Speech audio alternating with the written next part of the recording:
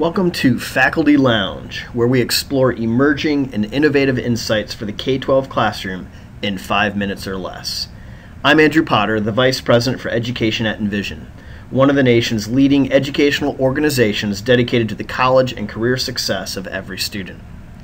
Today, we want to explore one of the hot topics in education student engagement and specifically look at how you can design cognitive engagement for your classroom. Cognitive engagement is simply occurring when students engage in higher order thinking in order to develop a depth of understanding. In order to have students cognitively engaged, they must be creating and they must be thinking in a critical fashion. In other words, they need to be applying skills like analysis, problem solving, synthesis, and intellectual openness.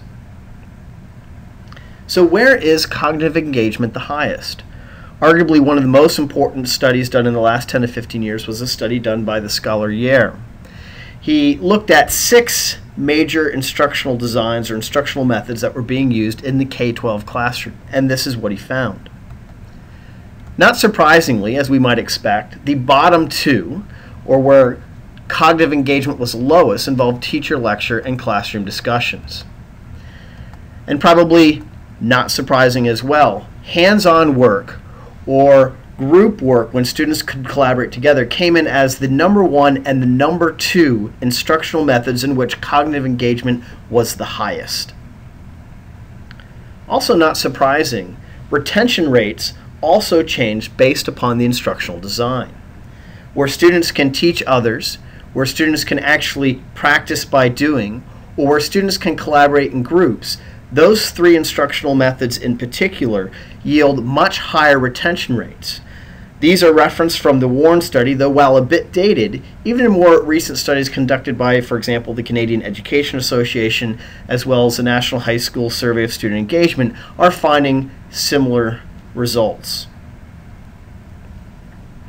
Two things that the research points out that are critical for cognitive engagement relevance and challenge.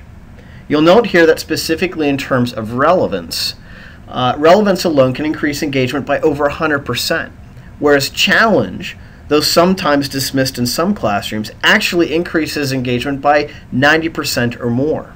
So relevance and challenge were two of the most important lesson design strategies linked to student cognitive engagement. How can you do this by design in your classroom?